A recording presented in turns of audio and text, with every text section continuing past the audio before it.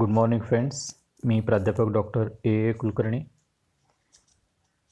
उद्योजकतेची मूलतत्वे हा विषय आपण घेतो आहे या विषयामध्ये उद्योजकतेविषयीच्या वेगवेगळ्या संकल्पना उद्योजकतेमध्ये येणाऱ्या वेगवेगळ्या अडचणी उद्योजकता म्हणजे काय उद्योजकता कशी निर्माण होते आणि उद्योजक म्हणजे काय या विषयाचा परामर्श घेतलेला आहे. आता या भागामध्ये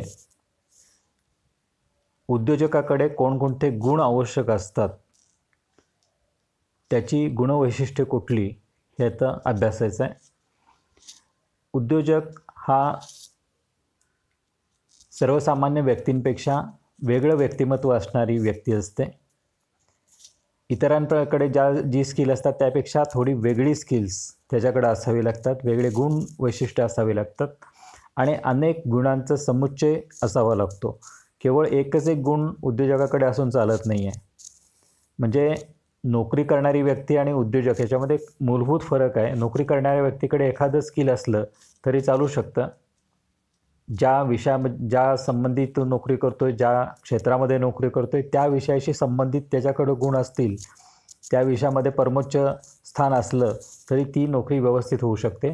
परंतु उद्योजकाच्या बाबतीमध्ये असं नाही आहे त्याच्याकडं अनेक गुणांचा समुच्चय किंवा अनेक गुणांची गुणवैशिष्ट्य असावी लागतात.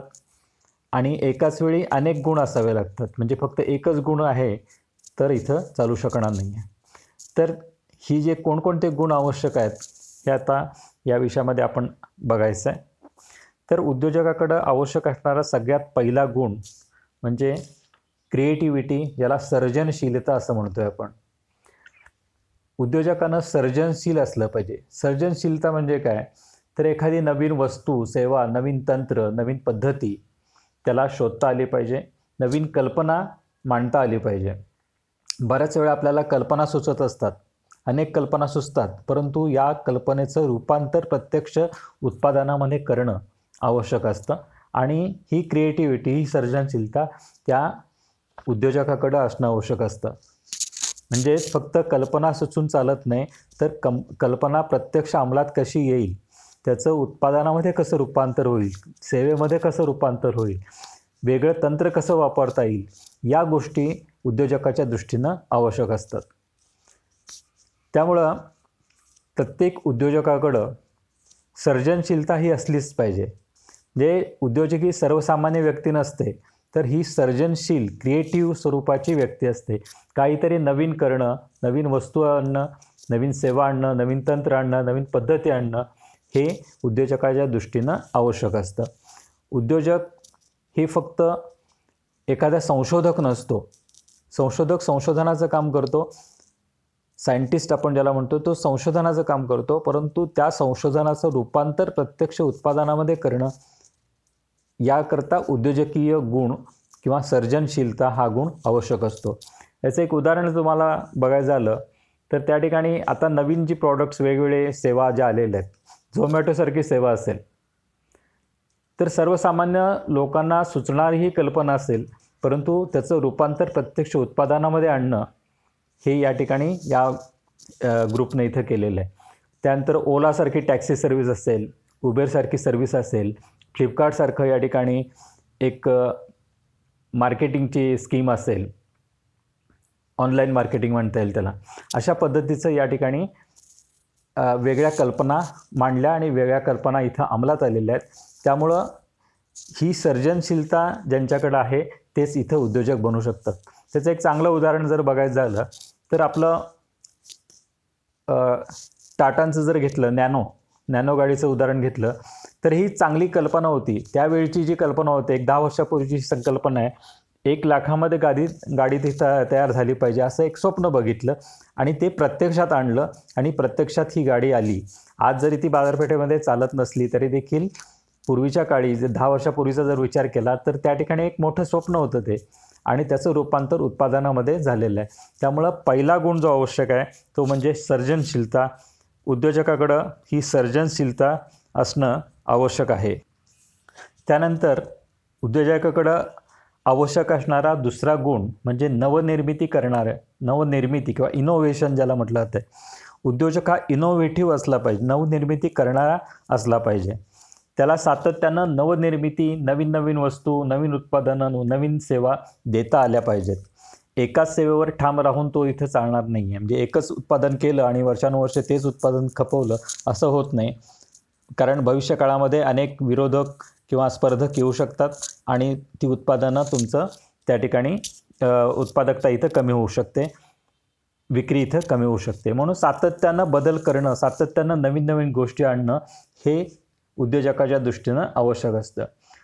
उद्योजक हा नवनिर्मिती करणार असला पाहिजे. म्हणजे उत्पादनं जी आहेत बाजारपेठेमध्ये त्यापेक्षा काही वेगळी उत्पादनं काही वेगळ्या सेवा या उद्योजक आणत असतो. म्हणजे एखाद्या शोधाचं रूपांतर उत्पादनामध्ये करण्याचं काम उद्योजक क्रिएटिव्ह स्वरूपानं इथं करत असतो. त्यामुळं उद्योजकच्या दृष्टीनं कायम सातत्यानं नवनिर्मिती आवश्यक असते. पीटर ड्रेकर यांनी सांगितलेलं आहे या गोष्टीवर इथं भर दिलेला आहे. उद्योजक फक्त उत्पादनं देणारा नसतो उत्पादनं पुरवणारा नसतो तर त्या ठिकाणी नवनिर्मिती करणारा असतो नवीन नवीन उत्पादनं बाजारपेठेमध्ये आणणारा असतो. आता इथं एक उदाहरण इथं दिसतं आहे बघा आपल्याला. सॅमसुंगचा एक फोन दिसतो आहे आणि आता स्मार्टफोन आहे. तर आहेत त्या उत्पादनापेक्षा वेगळी उत्पादनं नवीन उत्पादनं नवीन सेवा या सातत्यानं आणल्या गेल्या पाहिजेत. ॲपलचं उदाहरण घेतलं किंवा सॅमसंगसारखं किंवा मर्सिडीजसारखं उदाहरण घेतलं तर ते गाड्या विकत मर्सिडीजसारखी एखादी कंपनी गाड्या विकत असताना सातत्यानं त्याच वस्तू किंवा त्याच गाड्या आणत नाही. तर दरवर्षी काहीतरी नवीन मॉडेल्स उत नवीन उत्पादनं बाजारपेठेमध्ये आणली जातात. तर उद्योजकाकडं हा गुण एक महत्त्वाचा असला पाहिजे. तो म्हणजे नवनिर्मिती सातत्यानं नवनिर्मिती करणं नवीन नवीन गोष्टी बाजारपेठेमध्ये आणणं. त्यानंतर उद्योजकाकडं आवश्यक असणारा तिसरा महत्त्वाचा गुण म्हणजे लक्ष केंद्रित उद्योजक असला पाहिजे. उद्योजक कसा असला पाहिजे तर लक्ष केंद्रित गोल ओरिएंटेड असलं पाहिजे. आपण साध्य काय करायचं आहे किती वेळामध्ये करायचं आहे नेमकं आपल्याला काय साध्य करायचं आहे? एखादी वस्तू एखादं उत्पादन किंवा एखादी कंपनी कुठल्या टप्प्यापर्यंत पोचवायची आहे हे इथं निश्चित केलेलं असतं आणि ते लक्ष त्यांचं निश्चित असतं. त्यापर्यंत पोचणं हे त्यांचं इथं कौशल्य असतं. नुसतं लक्ष ठरवून चालत नाही तर ते प्रत्यक्ष इथं अंमलात आणणं इ ते देखील इथं महत्त्वाचं असतं. तर लक्ष केंद्रित करत असताना स्वतःचं लक्ष ठरवणं ते स्वतःकरता ठरवणं कर्मचाऱ्यांकरता ठरवणं आणखी क्लिअर स्वरूपाचं लक्ष इथं असलं पाहिजे.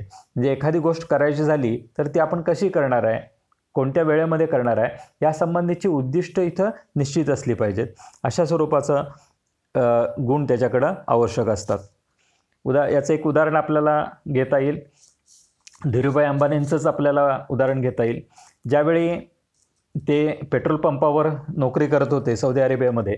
त्यावेळी त्याने एक ध्येय मनाशी बाळगलं होतं की त्या ठिकाणी आज जरी मी नोकरी करत असलो तरी देखील उद्या सगळ्यात मोठी रिफायनरी सगळ्यात मोठी पेट्रोल कंपनी ही स्वतःची असेल माझी असेल अशा स्वरूपाचं त्याने एक निश्चित गो लक्ष निश्चित केलं आणि त्या पद्धतीने त्यांनी वाटचाल केली आणि ते ध्येय आत्ता आपल्याला आत्ताच्या काळामध्ये येताना दिसून येते. आज रिलायन्स ही कंपनी आहे ती जगातली सेहेचाळीसाव्या नंबरची कंपनी झालेली आहे. आणखी जगातली दोन नंबरची कंपनी रिफायनरी पेट्रोल कंपनी इथं बनलेली आहे. त्यामुळं लक्ष निश्चित करणं आणि ते गाठणं हे या ठिकाणी महत्त्वाचं असतं. मध्येच सोडून देणं दुसरी दुसरीकडं वळणं हे उद्योजका दृष्टीनं योग्य नसतं. त्यामुळे उद्योजकाकडं हा गुण महत्त्वाचा असावा लागतो. लक्ष केंद्रित करणे. त्यानंतर उद्योजकाकडे एक महत्त्वाचा गुण असावा लागतो तो म्हणजे लवचिकता flexibility and multi skilled personality multitasking हा शब्द जो वापरला जातो म्हणजे एकापेक्षा अधिक स्किल एकापेक्षा अधिक वैशिष्ट्य त्या उद्योजकाकडं असावी लागतात.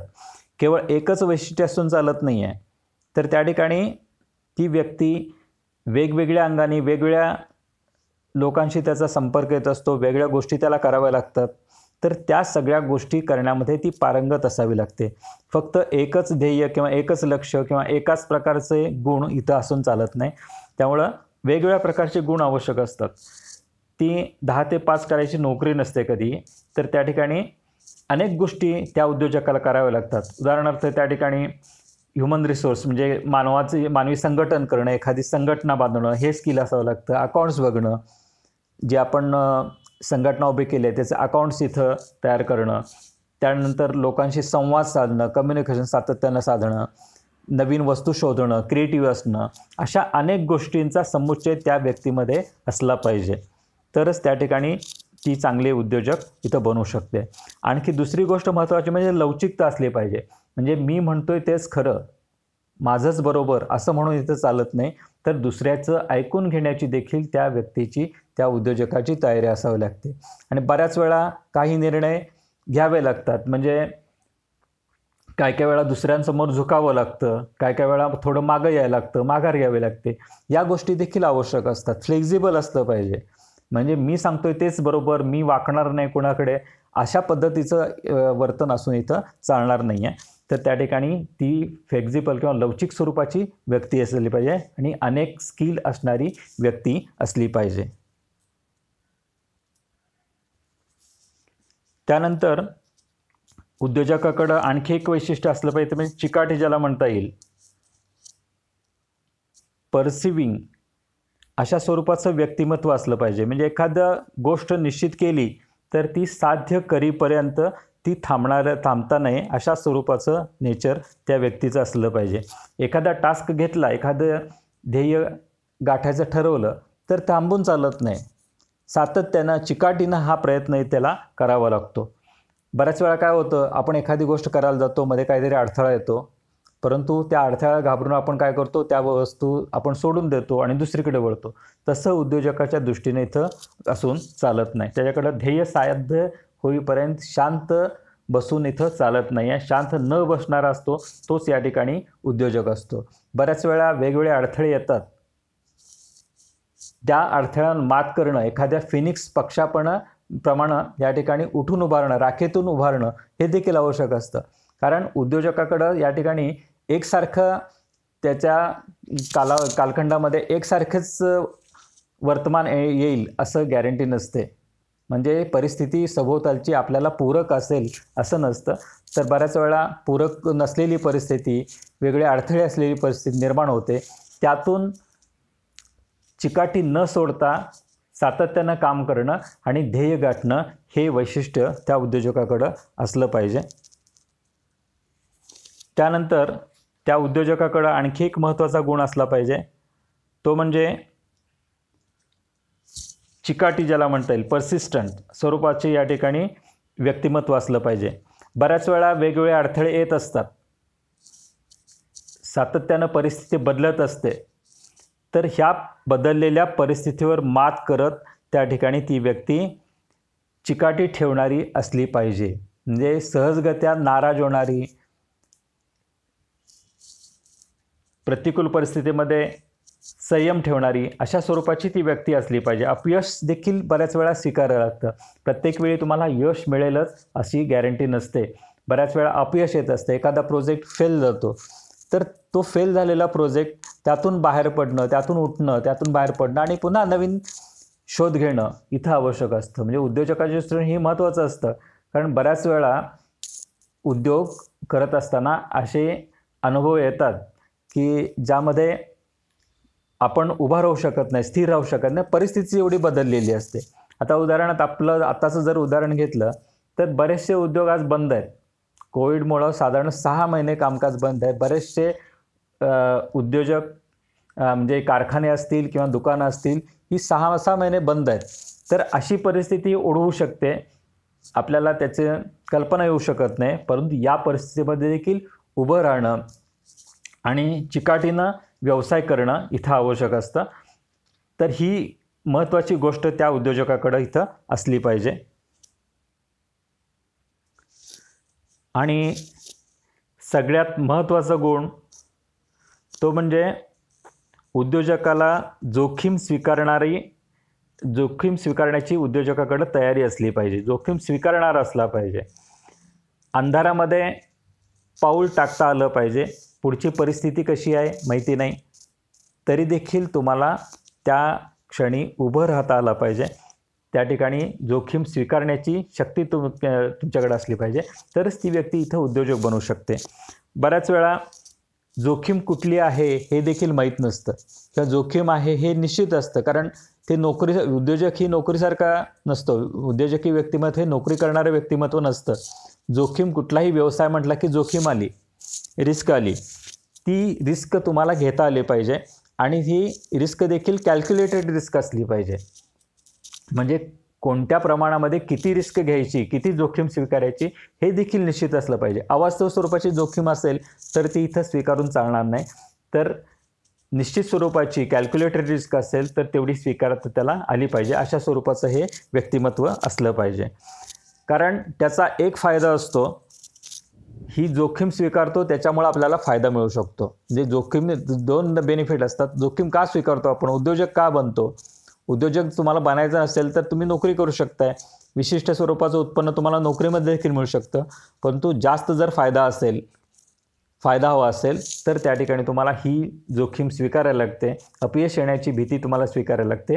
आणि तरच त्या ठिकाणी तुम्ही चांगल्या पद्धतीनं काम करू शकता किंवा उद्योजकीय तुमचं व्यक्तिमत्व तयार होत असतं. म्हणजे उद्योजक हा जोखीम स्वीकारणारा असला पाहिजे. हे साधारणपणे सर्वसाधारणपणे आवश्यक असणारे हे गुण झालेले आहेत. म्हणजे कुठलंही व्यक्तिमत्व असलं तरी त्या व्यक्तींकडं हे सात गुण इथं आवश्यक असतात. सर्जनशीलता नवनिर्मिती लक्ष केंद्रित करणं लवचिकता चिकाटी आणखी जोखीम स्वीकारणं ह्या महत्त्वाच्या गोष्टी त्या उद्योजकाकडं असल्या पाहिजेत. मग तो छोटा उद्योजक असेल किंवा मोठा उद्योजक असेल. या व्यतिरिक्त काही पर्सनल स्वरूपाचे व व्यक्तिगत स्वरूपाचे गुण आवश्यक असतात. त्याचं चर्चा आपण पुढच्या लेक्चरमध्ये इथं करूया.